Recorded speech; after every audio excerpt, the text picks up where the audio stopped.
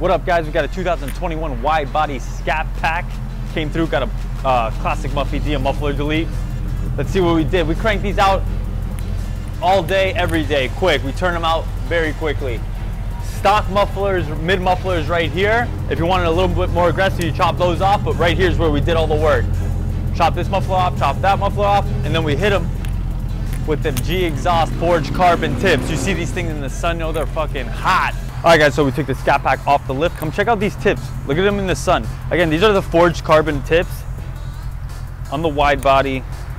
Personally, this is these are my favorite tips, the quad forged carbon G exhaust tips. You could get them, just hit us up or go to the website, order them.